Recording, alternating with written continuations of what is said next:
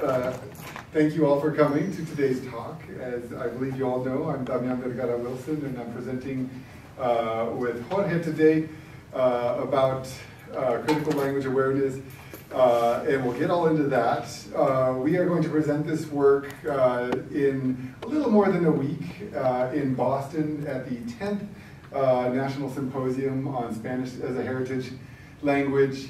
And uh, so uh, we really appreciate this opportunity to get uh, feedback from uh, all these esteemed uh, peers here. And we also recognize that today is a really wild day. You know, April is super busy, and so we are grateful uh, for each and every one of you being here during this very stimulating month full of activity. and, you know, so many ideas out of today looking at the presentation that came before us, Kim's talk. And so, you know, once again, uh, thank you very, very much uh, for hanging out with us. And so we're going to be talking about uh, critical language awareness, which is something that I push a lot in the Spanish as a Heritage Language program. And uh, while there are many different definitions, uh, including ones that are much more original, we like to use this one from Leeman that talks about how CLA has been applied to the understanding of how language is imbued with social meaning and power relations as well as to pedagogical approaches uh, designed to promote that understanding among students. As part of their learning about how language works, uh, CLA-based uh, pedagogies encourage students to question taken for granted assumptions about language and how to analyze how such assumptions are tied to inequality and injustice with the ultimate goal of promoting positive social change. Uh, one of the conversations I was in today was about the word haiga, uh, and as we know, that word itself draws a lot of admonitions. And the Real Academia Española has actually updated their definition of it uh, to say that it is an incorrect form, uh, yet used by you know millions of speakers. And so, what critical language awareness does is draws attention to the fact that this is arbitrary, uh, that uh, denominating haiga as incorrect by the Real Academia is uh, classist, and you know, kind of getting into some of the reasons why they would do this, even though it is used by millions of speakers. And so it invites students, especially of stigmatized varieties of a language, to engage in uh, thought processes, dialogues, and explorations that go beyond these assumptions. Because uh, when we talk about these, um, you know, uh, taken for granted assumptions, when you look at the Real Academia Española, you assume that they are the authority. And so, you know, many uh, students will internalize that, you know, IGA is just wrong, and so my grandmother is wrong, and my parents are wrong. And so, you know, I'm going to uh, modify my speech uh, to talk in a way that alienates me from my own speech community. And so that's kind of an overview of critical language awareness. Uh, it is a critical pedagogy that is, uh, comes from uh, Freire. So uh, it's in, gained increased attention from practitioners uh, as we encourage our students to question these assumptions. Uh, however, a lot of the scholarship on critical language awareness uh, implicitly positions it as an approach that is mainly understood and imparted by linguists. So us linguists have sort of put a fence around it, and we talk about it in a way that's, uh, you know, aimed for linguists, uh, that is designed to get linguists fired up, and uh, so what we're doing today is we are expanding that.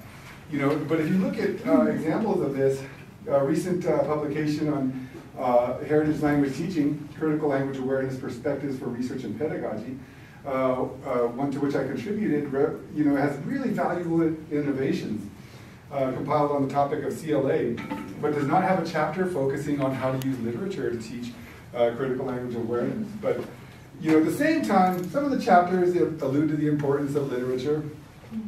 You know, uh, the chapter I wrote with Sarah, we argue that uh, we should use genres such as poetry, uh, novels, art, etc., and music as targets for the analysis of the author's purposeful choices as well as the underlying ideologies and perspectives.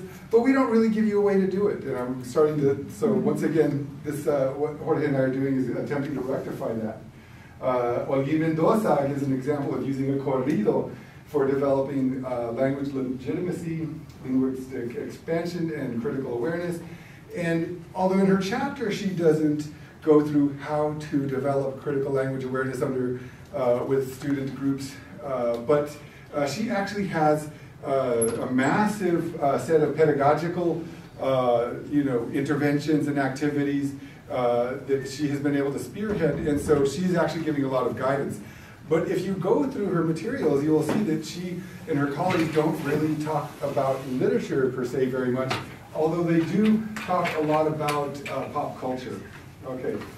Um, in a different uh, volume on uh, SHL teaching, Aguilo and Mora, uh, Aguilo, Mora, and Lynch argue for using U.S. Uh, Latina literature and implicitly point to ways that this way may contribute to CLA, but you know, uh, so what we're doing is that we don't mean to criticize the aforementioned works unnecessarily, but we're suggesting another productive avenue for creating for uh, critical language awareness, which is a focus on literature and including our colleagues in cultural studies and lit uh, in these conversations because uh, we hope that by the end of this talk to have demonstrated that the study of literature just is inherently imbued itself with uh, notions uh, of critical language awareness.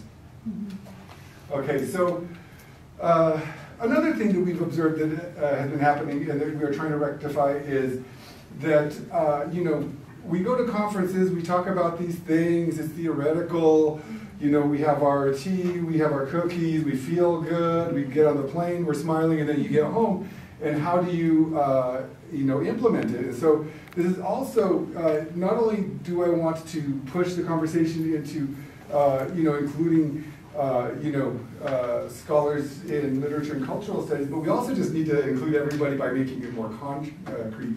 And so recently in a project with Marcin, a really neat project that we did with uh, during the pandemic by having uh, student communities in New York and New Mexico collaborate on a number of activities. Uh, we studied uh, student expressions uh, and the students' work and did interviews with the students to determine you know, how they viewed some of the uh, attempts that we did to foster critical language awareness and came up with the following measurable outcomes.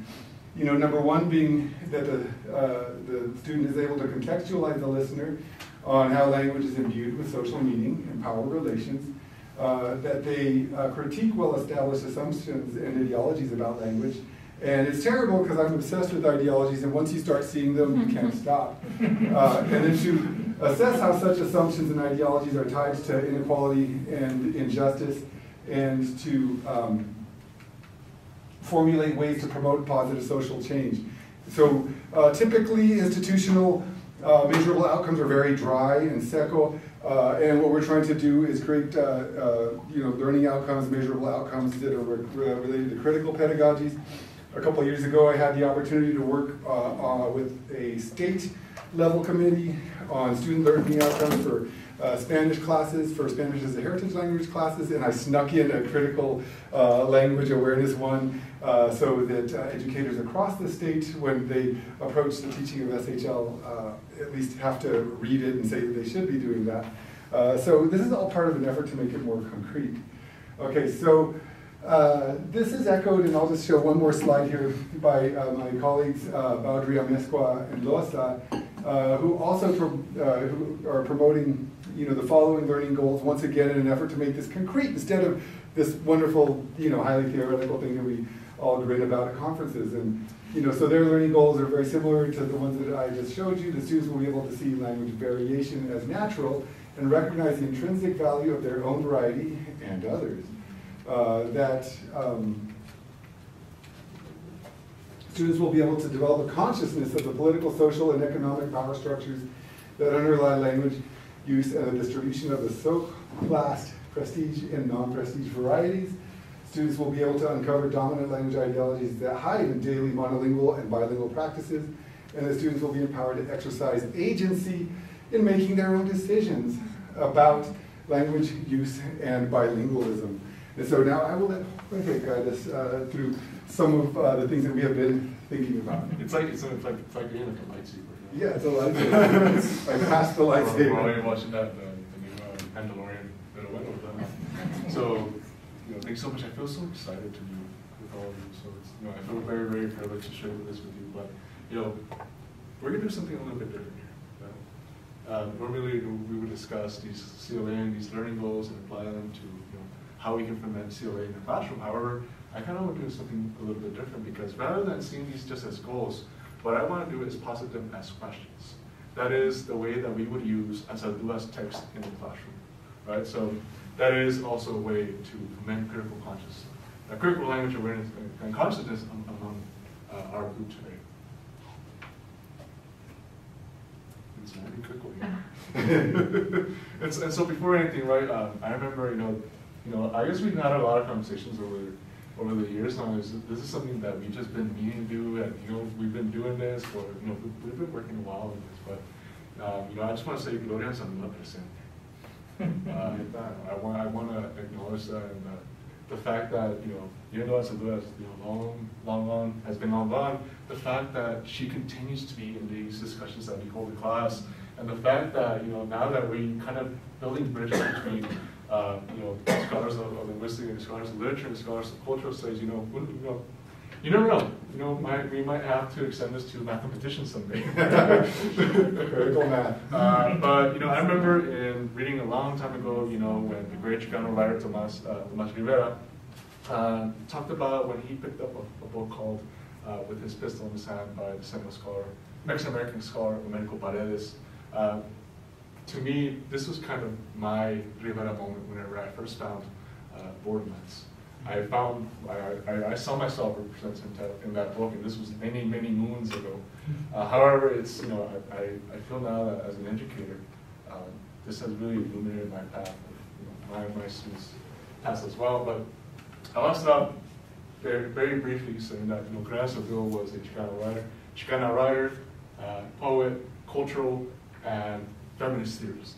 Um, if you're learn Sadua, you will find out anything from ethnic studies, linguistics, uh, cultural studies, literature, um, and Sadua's name has, has circulated very widely.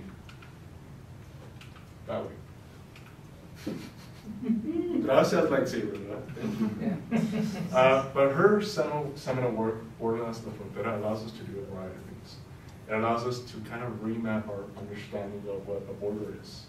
Um, not just as a simple, you know, divide between here and there, you know, presenter and audience, um, or there and us, us and them, but also more profoundly as a psychic, as a social, and as a cultural terrain that, you know, that, that we all inhabit and that in turn inhabits us.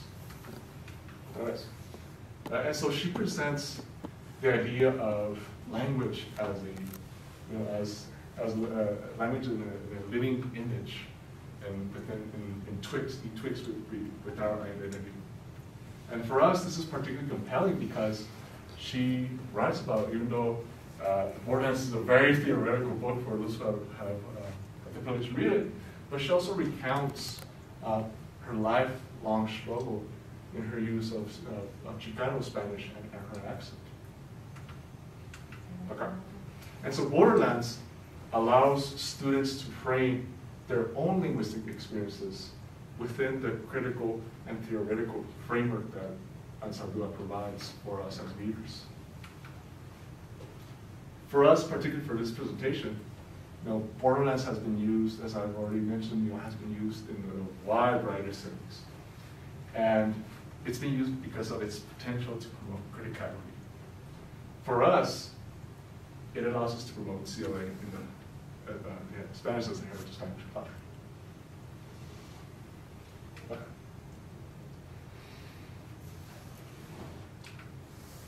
And so now, as I said, we want to provide a roadmap, and we kind of want to flip those uh, CLA goals provided by Beaudrie and Loza. And to a great extent, you know, Ansel talks about language and its intrinsic value. What is her perspective on language variation? Does she privilege some varieties over others? You know, I see that Anzaldúa uses and sees language as a connection to identity, um, capable of communicating realities and, and, values to our true selves. And she does this neither in español nor inglés, but something in between? Lenguaje de la frontera. She sees language as something that is natural. For her, language and identity go hand in hand together and quote, because we are a complex, heterogeneous people, we speak many languages. In our class, in our Spanish as the heritage language classes, we ask these questions to students. I, I, I particularly ask these, these questions to my students in SHL4 um, as a primer to foment uh, critical consciousness about their linguistic varieties, registers, and domains. And so we introduce these kind of very linguistic uh, terminologies so that students can become aware of their sociolinguistic contexts and backgrounds. And so now I'm going to break the fourth wall of presentations. I might use the fourth. I want to. I like use that fourth. And so now for, for the audience, you know, I'm going to ask you all, how would you greet your grandmother on a Sunday afternoon versus a best friend you haven't seen in a year? What about your parents?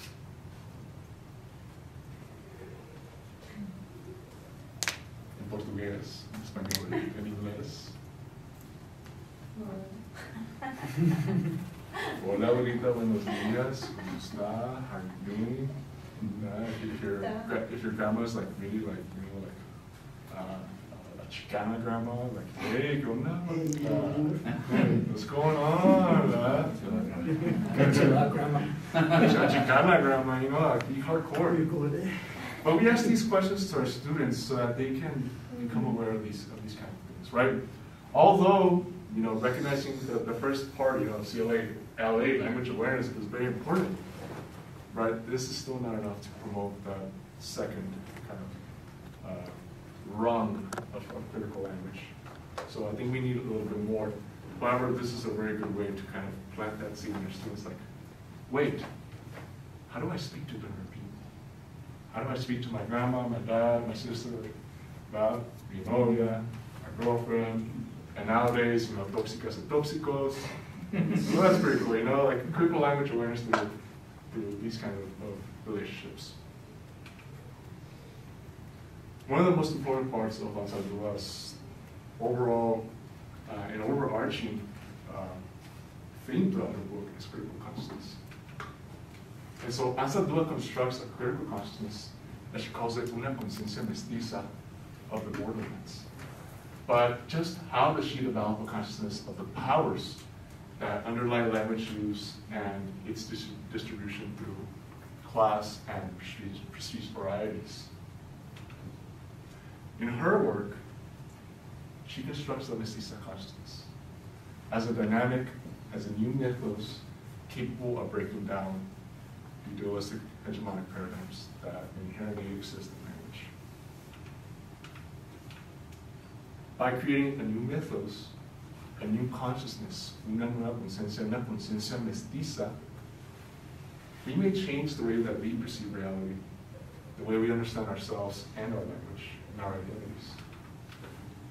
And so Anzaldúa raises, uh, Anzaldúa's consciousness raising through her writing allows our students to see themselves represented in her writings and her experiences it allows them to create their own mestizo or mestiza consciousness.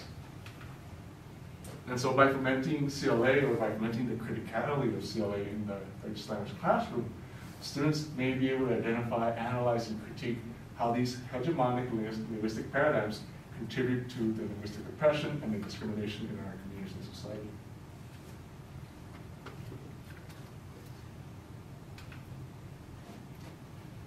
Part of developing a consciousness, part of creating a critical consciousness of the language is critiquing these inherent dominant ideologies that exist out there in the vacuum and mainly often academia. but you know, Anzaldúa is, is, although she does not put it this way, she does not mention I am critiquing you know, racist, linguistic, and standard language ideologies, uh, although she does to some extent. But you know, how does she uncover these dominant language ideologies that that hide in our daily uh, monolingual and bilingual practices. Particularly in her chapter, How to Tame a Wild Tongue, Anzaldúa talks about how linguistic terrorism is often embedded in the internalized uh, in, and internalized in the practices of our everyday practices. For her, these discriminatory or um, discriminatory and linguistic practices exist not just at the macro level, of our linguistic hegemony, but also in the innermost part of our beings. And so we often internalize these ideologies as deficits about our language because it has been used against us. And sometimes in turn, we often weaponize language um, against others and often ourselves unconsciously. For our students, this means identifying, recognizing, and critiquing these embedded and often unconscious practices within their own language and within their own uh, day-to-day -day practices. It also means unlearning these dominant um, ideological practices and their imposition upon others, all while embracing our language, our experiences, and becoming critically aware of the linguistic experiences of others. In doing so, we are able to dismantle these ideologies. We are able to break them down as Sadua uh, constantly quotes. Um, and we also are able to break down these ideologies that often we have about ourselves um, in our communities.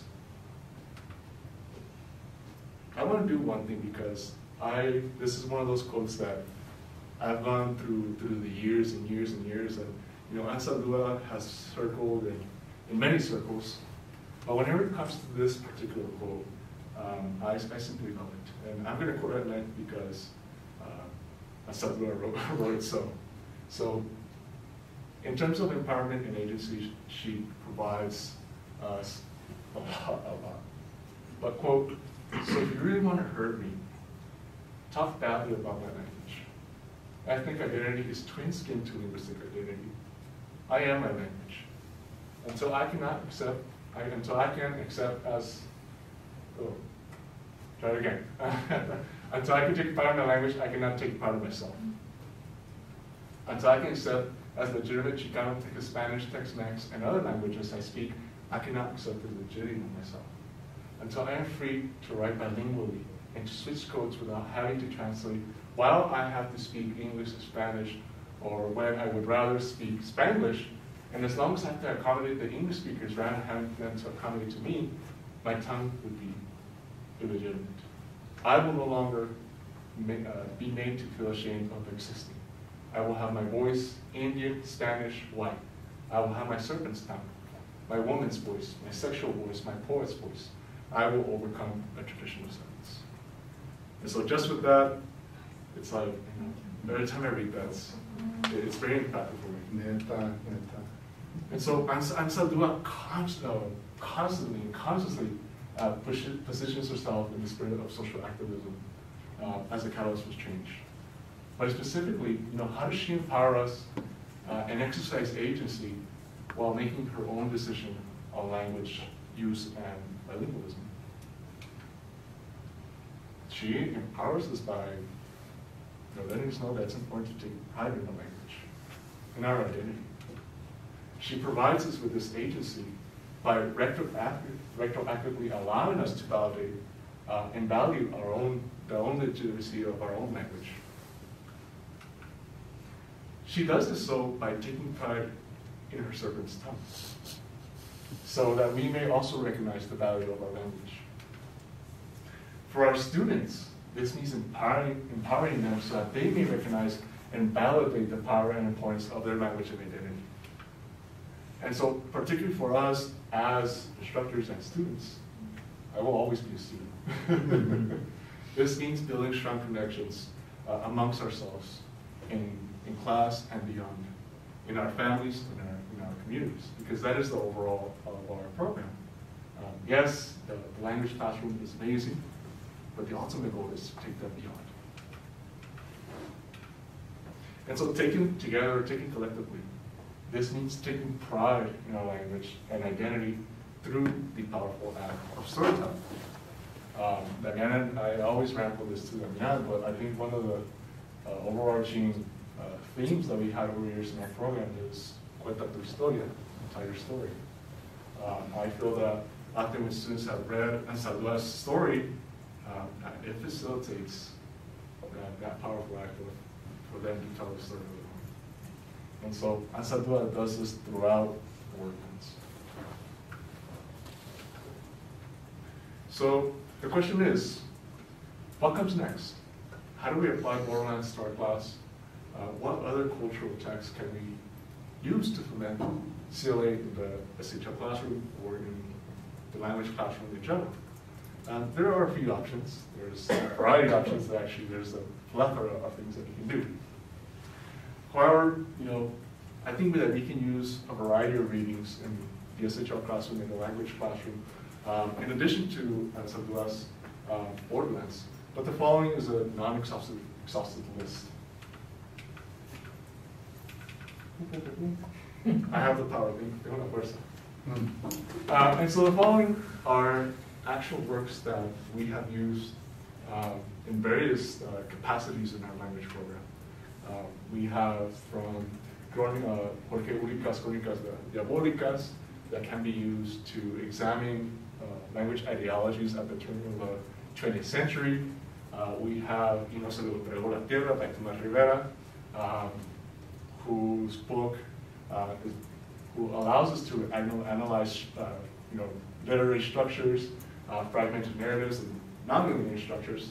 Uh, Susana Chavez Silverman's fantastic, fantastic book, uh, Killer Crónicas, made used to examine the dynamism of you know, like trans-Hispanic, uh, bilingual, translingual speakers. Although the following is a children's book, Chato y los amigos pachangueros, you know, helps us use to examine you know, the, the inherent language and languaging in children's books. So CLA can also have that, have that reach. Uh, and often children's books are embedded with uh, open ideologies, ideologies, ideologies. And even works such as uh, Carmen Lomas Garza's Cuadros de Familia, which is a very visual book, allows us to kind of examine language through a visual component. Um, the following, we've used it sparingly, but whenever I've, I've in class, I found that students really enjoy the fact that uh, Santa Fe Nativa, a collection of Neo-Mexicano writing by uh, our own, Gabriel Melendez, Jose Otero, Enrique Lamadrid. It's a really, really cool bilingual book that includes a English version and a Spanish version, all on the same page. So, that's gracias, Jorge. And so, like, uh, you know, using literary texts promote criticality is a very wide topic, and you know, uh, one of the reasons I've been uh, preoccupied with this uh, exact topic of, you know, how do we extend the conversation to uh, people working in literature and culture studies is because just as coordinating the SHL program, I don't get to like decide to only you know recruit linguists to teach with me, and hmm. uh, and I've witnessed personally how you know uh, literature uh, approaches just naturally uh, foster critical language awareness. Part of our conversations were even like how you could use El Quijote to promote CLA because of the really um, you know uh, the, the attention to uh, social class that Cervantes mm-hmm. uh, pays in, you know, uh, making Sancho Panza speak a certain way that's very detectably different from, you know, the higher class characters uh, such as El Quixote. And although, you know, the, the, the list that he presented, you know, all the, all the, the actually all the works come from the standpoint of the Mexican, the Mexican and Mexican American community, right? Um, you know, we can voice the way through a variety of texts. It's just this is just a particular example for uh, for our students and for our population here. And then um, I imagine you know uh, uh, educators in other institutions could find texts that can uh, be used to, to teach that those particular student populations. So um, that's another that's a whole other project and a whole other presentation. Oh yeah. But you know we we've had these talks for I mean over year now. It's uh, but uh, you know, so once again, we're just uh, this is a conversation to be more inclusive. Uh, you know, as a linguist, and you know, uh, recognizing that the inherent uh, you know characteristics uh, that are imbued in cultural studies and literature, and you know, students engaging critical readings of books that reflect their reality and sociolinguistic backgrounds might feel validated just naturally. They may come to new insights about their own positionality. You know.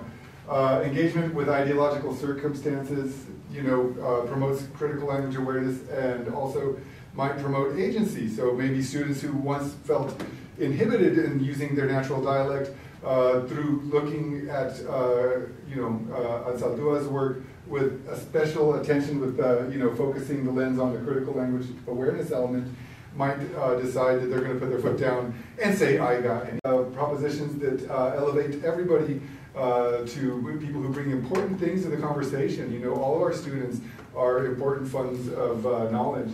And um, once again, I'm just going to close with this, uh, that this is an invitation for scholars of both literature, culture studies, and linguistics to find ways to join efforts to foment CLA using their areas of expertise.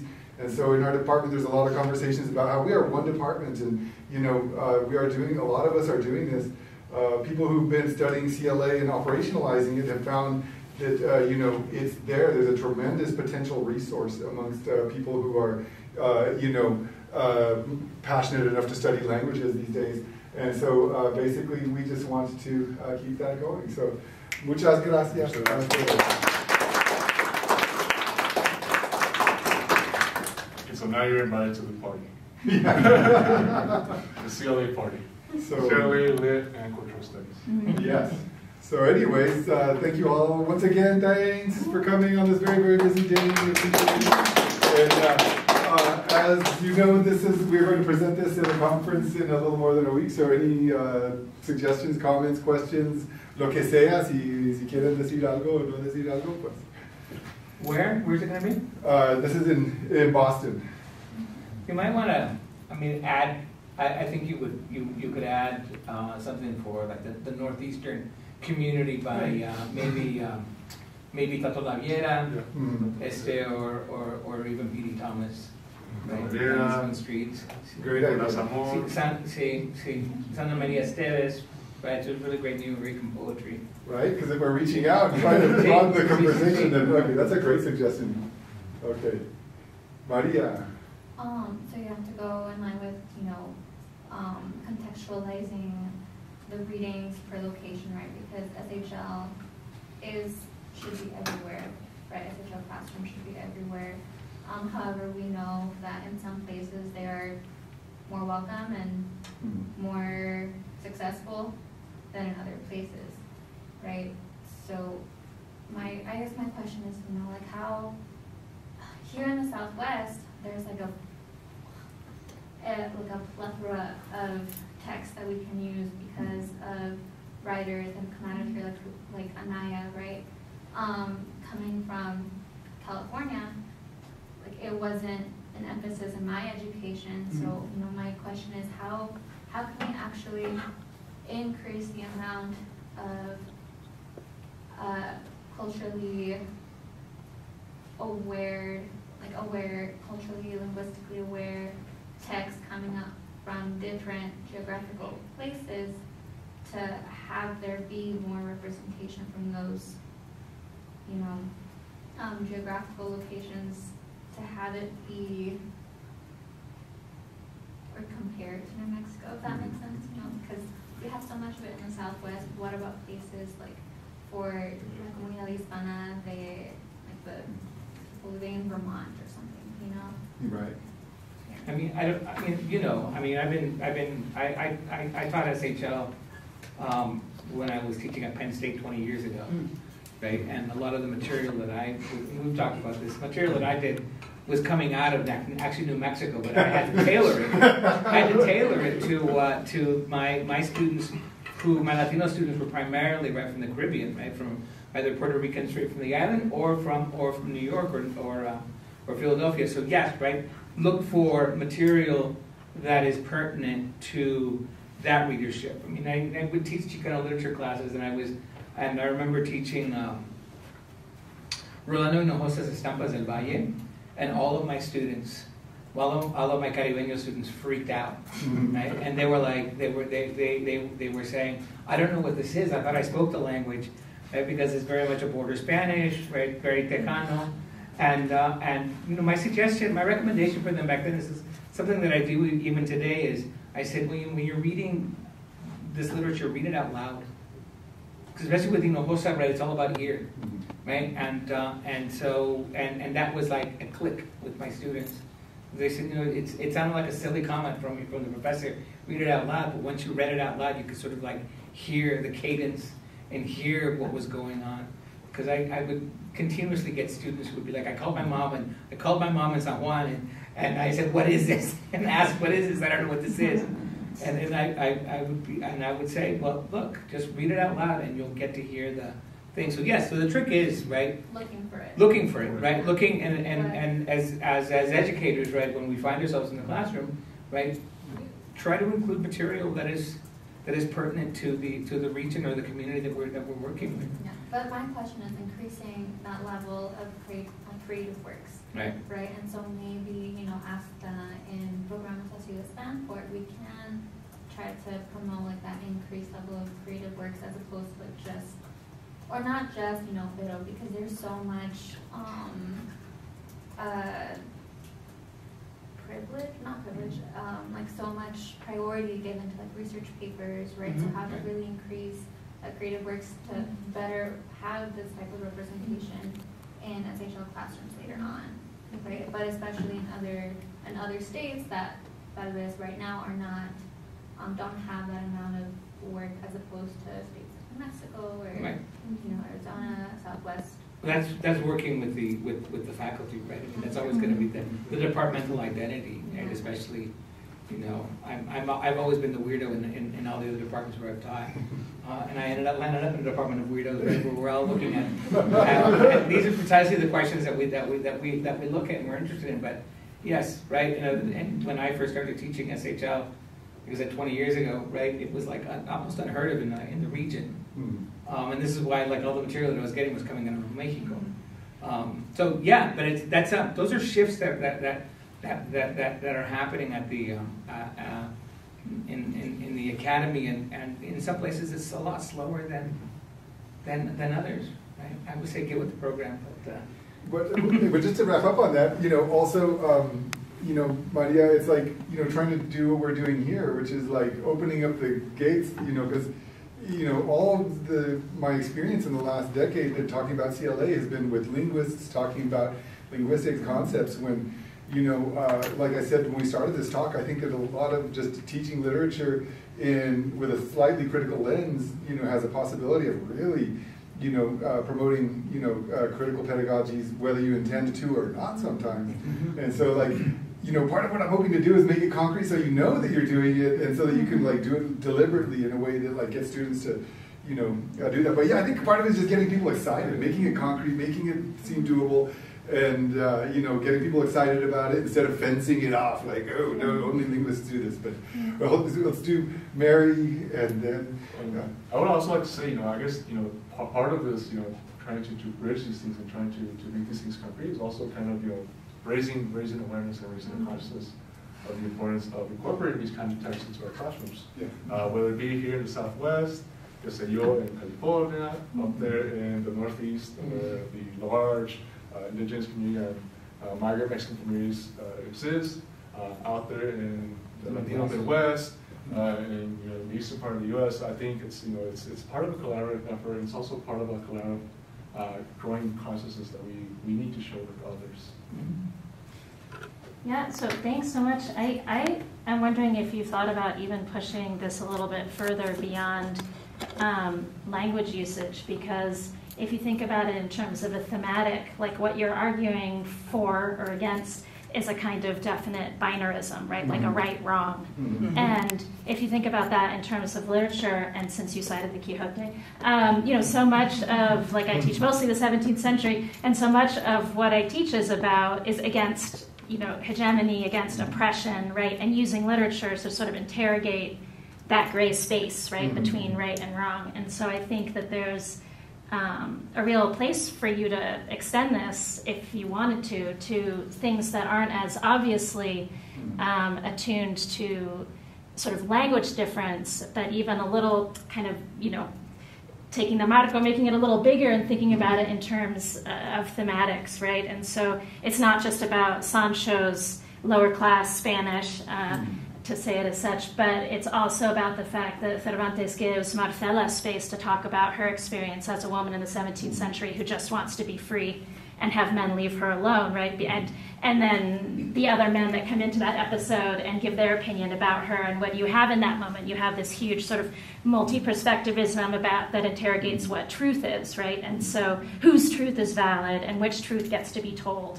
And I think in any um, in literature, in any instance where you have authors sort of writing against oppression, that's mm-hmm. that's what they're going to be getting at, right? Because the same thing happens in 20th century Spain under Franco, right? So I think there are all these cool moments that you could um, hone in on and mm-hmm. take this, make this even sort of a, a sort of macro argument too, from the language out, you know. Mm-hmm. Totally. Yeah, I mean, I think that there's a lot of opportunities for emancipatory teaching, you know, Yeah. and sometimes, you know, in the, if you get it from the least expected places, it has an even bigger impact because of the surprise factor. So, yeah, that's a great idea. Let's go, we'll go here, and then we'll go, uh, let's see, so you first, and then I'll just follow my field of vision this way. And then you all are okay with that.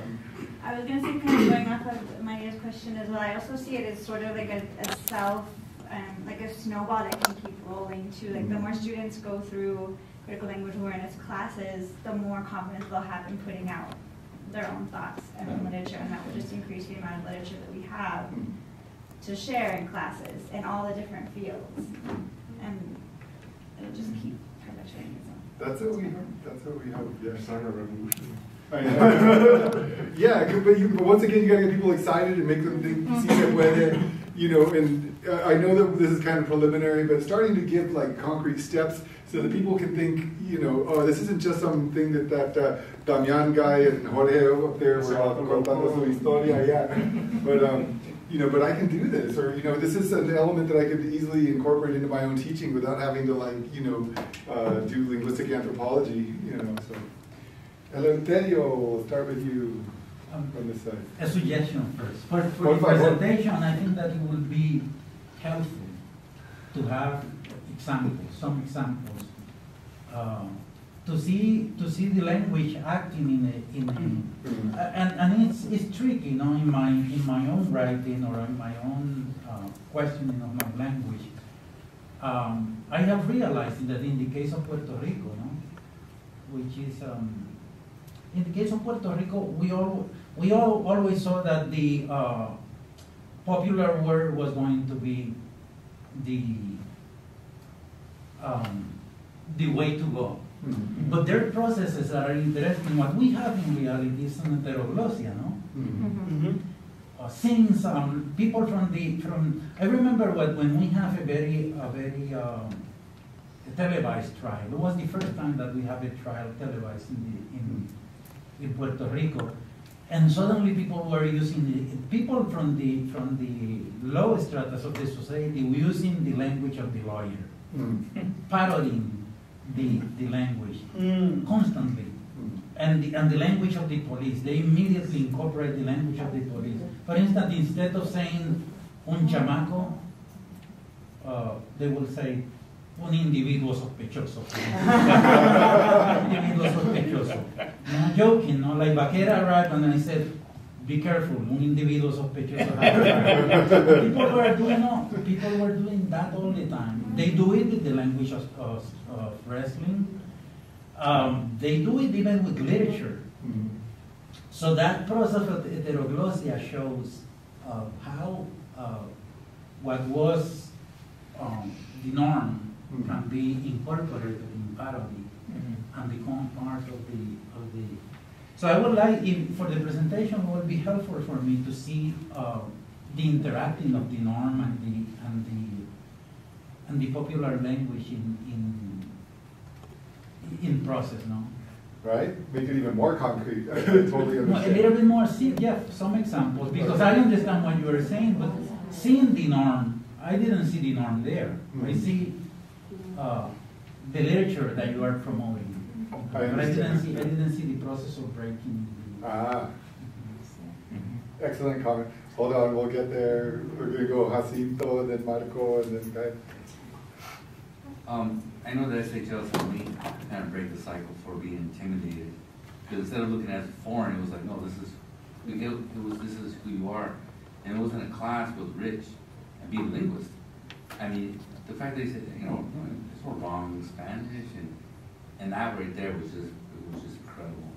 So for me with CLA, it allowed me to, it, it, it makes it bigger for me to come in and say, you know what, the way I grew up, whatever's going through my head, hold myself back. But for me, SHL has been very healing, and that's how I feel mm-hmm. that this is, is saying like, no, we're treating it like this is from where you're from, wherever you got stuck, mm-hmm. whether linguistically, or whether you got stuck from being embarrassed, whatever it was, it's all right. We're gonna help patch those holes. So that's how I feel with SHL. It treats us like, like we learn English here, you know, in the United States. We, we don't learn it as a foreign language. So I like that. And, uh, yeah, it's just flipping the script that like Spanish does not belong within the U.S. Spanish is positioned as a foreign language, Yeah. and you know making it inclusive. It's just foreign English.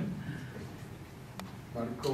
Bueno, yo, ah, muy buena presentación, pero solo quería saber, si hablamos en el contexto de expander, ¿no? expander el trabajo, ¿cómo, inclu o cómo incluirían, o cómo se incluiría, si se beneficia o no se beneficia, the non-Spanish speakers, the non-native Spanish speakers, ¿no?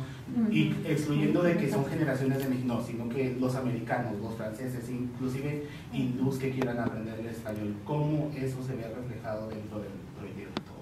cómo podría, si llamamos de que queremos extender, ¿no? ¿Cómo podemos extender un poco la cultura más? Porque lo vemos hoy recientemente con las conexiones y cómo interactuamos con las personas, ¿no? Tenemos estudiantes que son americanos, pero que quieren aprender más allá de los requirements, ¿no? Entonces, ¿cómo expandemos quizá esas voces o cómo logramos meterlos dentro de la conversación, de nuestra conversación? Pues crucial, crucial, porque eh, muchas veces se enseña el español como segunda lengua en una manera muy como sanitizada, si me explico. Como si fuera algo sin política, sin ramificaciones sociales. Entonces, eh, pues para comenzar, explo- eh, recomendaría explorar las decisiones que se hacen al crear un libro de texto de pues hacer que los estudiantes memoricen conjugaciones de vosotros, pero hacer caso omiso total de voceo, aunque hay más hablantes que usan el vos que el vosotros. Entonces, y, y ver, explorar un poquito las decisiones que hacen en la creación de esos libros.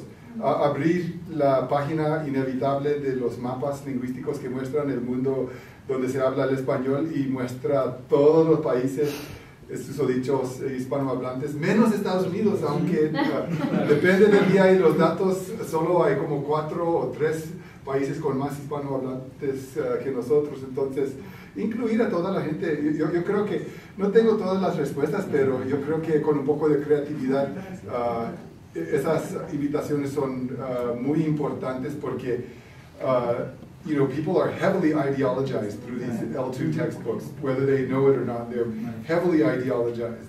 They come out of these uh, classes with, uh, they, they don't even know it, but you know, suddenly, you know, it's a bolígrafo no es una pluma, you know, and everybody around you is saying pluma, uh, but you know the right word. And so you become heavily ideologized. Uh, so I think, you know, recognizing that, saying, look, class, we have this amazing tool here, it's going to help us to, you know, increase our linguistic capabilities, but there's also gives us an opportunity to look at critical things. So, you know, I think that that's just a conversation, just como para comenzar. Y desde ahí yo creo que hay, hay muchas oportunidades. And uh, just in some of my own research uh, with that I did with Marcin, we had L2 students. It was a mixed group.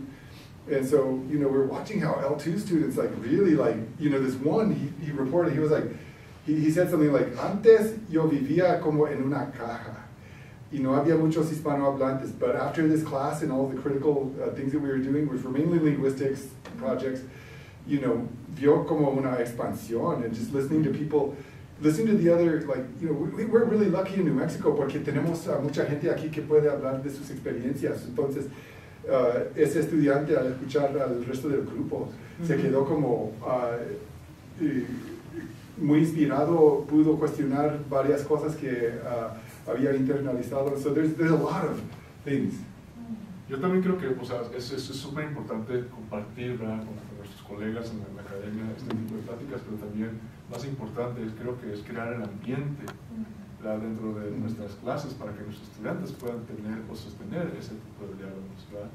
Y a veces ¿verdad? no solamente cuestión de que nosotros seamos este gran atlas que sabe todo de CLA y de Cultural Studies y literatura, sino también, también vale la pena que los estudiantes compartan esos fondos de conocimiento que ellos traen a la clase, ¿verdad? Sea mínimo, máximo, sea, qué sé yo, que han leído todo el Quijote. Disculpen, still haven't read the whole Quijote. Pero creo que también es, parte como nosotros como instructores crear ese diálogo con los estudiantes. Ujú. ¿verdad? Y como dijo ¿verdad? crear ese, ese tipo de bola de nieve, ese snowball effect, para realmente hacer un impacto, ¿verdad? no solamente en la academia, sino también en la, en la- la comunidad. ¿verdad? Que esto no se, no se quede en un círculo concéntrico, ¿verdad? que se expanda. Exactly. ¿verdad? So then, I'll try to be brief, but I have a lot floating around in my head, like added to, in addition to everything that was just said before me. One of the things that I particularly liked about this ideology and this critical approach is that it is a bit more tailored to uh, small groups and the individual and trying to help people shift their focus within the classroom. And when you usually think of critical theory, I think, especially in academia, we tend to think of like huge systemic mm-hmm. changes and it makes these challenges seem almost insurmountable. Mm-hmm. And the thing that I really like is that you do use some concrete examples and texts that people can just already start to implement in their mm-hmm. classrooms and how much of an impact you've already seen and can speak to in your coursework. Um, speaking to Marco's comment, like I, we talked about this a little bit in our SSL orientation, but I've also tried to incorporate in Spanish as a second mm-hmm. language because some of my students are inevitably, I try to send them all your way, mm-hmm. but inevitably some heritage speak speakers like to linger mm-hmm. for some reason or other, and because it's their schedule or, or modality or whatever. Um, but what I really try to do is try to emphasize the fact that there is a, a ton of linguistic variation in Spanish, and that people should never be afraid to speak. Um, and I had even students speak with a South Carolina accent in Spanish. I'm like, that's fine. That's it's, you know, it's you know, as long as I can understand, you can understand me. We're doing great. Um, and so just kind of creating, like you said, that I said, este ambiente de, de diversidad lingüística. And I think it's really important. And then also instead of having my students investigate culture from Oaxaca or something like that, I was like, go to the National Hispanic Cultural Center, see what they're doing there. Like we do have an abundance of Yeah. resources Mhm. here. Um, and even in places like California, I mean, there are obviously pockets and lots of Chicano populations that people can go and experience as well. So I like that idea. And then going back to um, when you were talking about positionality and that critical approach, it made me think a lot of decolonization. And that's something that was never said, but I'm sure is like kind of in the back of oh your yeah, mind. Oh, yeah. Most definitely, 'cause it's all there. But, but once again, I kind of like this approach of taking it um, specifically with ling- uh, language and identity and connecting it Anzaldúa because it shows the social value and power of language. And I think that's really well done. And I think that could be your example, even that concrete example of how she specifically uses her regional dialect to do that. Yeah. And it made me think a lot of my work in Sápmi with reclaiming uh, indigenous language in Scandinavia. And a lot of the experiences I hear from my students here who are like heritage language, it's that same kind of intergenerational pain Mhm. and trauma that they're dealing with with schools and things like that. And just kind of the need for that healing, as Jacinto was saying. So just like that, that's another kind of layer of the value of this work is also Yeah. addressing that. It's, it's a lot, but inter- in addressing that intergenerational trauma and getting people to speak again, right? To kind of overcome that self alienation. And that is a little bit different, I think, than teaching it as a second language. Like you still want to incorporate those kind of principles in that curriculum, but there's a, there's this distinction, I feel like, and a positionality that's slightly different Yeah. when you're having to deal with that self alienation. For sure, lots, thank you for the comment. I mean, I don't think that we would all be here if we didn't believe that we could uh, all contribute to change, you know. Uh, I, and so, yeah, it does deal with the systemic things, the bigger things, but you know, how, how, how do you get individuals to feel like it's not so overwhelming that they must, you know, how, how, how can you get people to feel like, you know, like a little golondrina that's gonna put out the forest fire one drop at a time instead of, you know, just like, oh, I'm just gonna give up and, you know, watch YouTube videos. So about yeah, thank you. I think Great that's comments. really valuable. I think that's really valuable.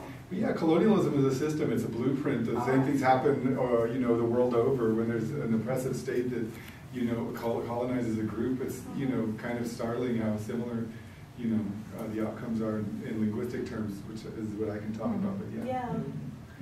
Okay, what, yes?